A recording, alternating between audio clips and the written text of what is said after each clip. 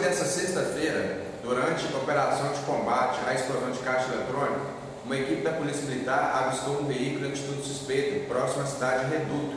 Ao tentar realizar a abordagem, esse, veículo invadiu sentido à cidade de Manhuaçu.